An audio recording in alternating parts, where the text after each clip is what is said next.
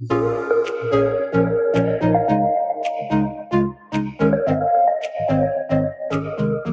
Summit, this is Edward. You know this guy, Jake. Weekly update coming at you right now. From the home office. Home office. This slide's kind of in the way. I can't see you, Jake. So, oh, that's that's fine. I, hey, Jake, you know what's coming up? Disciple Now. It's going to be this coming weekend, man. Well, hold February on. 15th, 16th through the 18th. Yeah. If you're watching this on Thursday, Yeah. then it's a week from Friday. Yeah, so if you're watching this Sunday morning, you're waiting for worship to start. It's coming uh, up. it's like Friday. So if you're a host home, if you're a leader or whatever on that, uh, got any questions, reach out to me or David, and we can get your questions answered for that. We'll meet at uh, Hollybrook on Friday afternoon. Schedules online. You can see that under the youth ministry. Mhm. If you have not registered, it's not too late to register. If you have not paid, it's not too late to pay, Jake.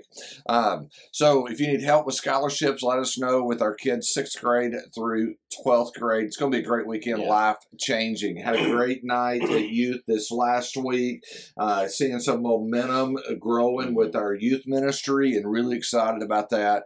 Um, so, and, and, and I'll say this, Jake, we were just talking about hey, we need we need some more uh, small group leaders on Wednesday night. Our ninth and tenth grade girls table has exploded, and uh, we're going to have to create new groups in the coming days. So if you're interested, uh, let me know. I'd Yeah. love to talk to you. So Speaking of new groups, uh, we did regroup last Sunday for small groups. which was really good. had 19 new people, had about 30 people at regroup, but 19 new people wanting to get plugged into small groups.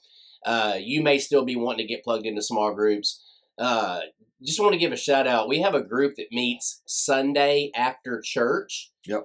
Um, it is a good group. It is a great group. If you are new to Summit and you want to meet some new people and just plug in right away, you can just stay over after church.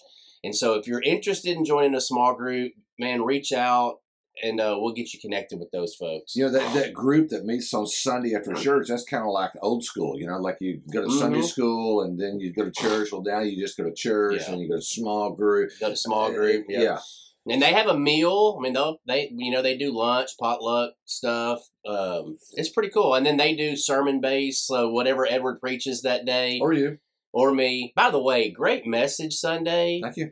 It inspired me. What to do? What? I went immediately after church. I went to Outback and I ordered me one of those Philemons, medium rare, with a Hmm. with a side of uh, vegetables. Hmm. It was so good. Best cut of steak, the Philemon best cut of steak, in my opinion. So yeah. So anyway, if you want interested in that, reach out. We'll get you connected. Grief support meets this Sunday right after church. If you're grieving, uh, and they feed lunch too. Let our grief ministers love on you, give you some material um, to help you through the grief process. They meet in person this Sunday after church. That's good. That's good. We also started our new men's group. Yep. Uh, spring semester, the semester of story. Uh, Oh, Tuesday so morning from good. 6 a.m. to 7 p. uh, a.m. That'd be a long day. That would be a long day. Um, six to seven in the morning. That way you can go to work, you can get your kids to school, whatever.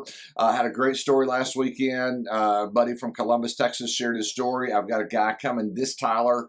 Uh, this Tuesday from Tyler Mhm. um, from the 1517 project chad bird is going to be sharing his story it's going to be a phenomenal morning i cannot wait ages ninth grade all the way. To if you're still all the way. breathing. yeah if you can still fog a mirror ninth grade till fog a mirror doesn't matter uh, guys get there uh, we got plenty of room got plenty of tables 50 plus men Plenty of coffee.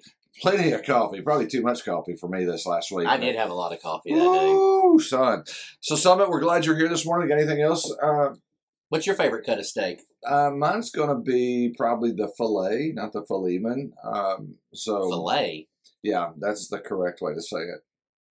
So it's the Book of Filet, Book of Filet Mignon. No, no, you need to read your Bible. Read your Bible. Summit, we are so glad you're here. If you're here on Sunday morning, we're going to start worship in five About minutes. five minutes.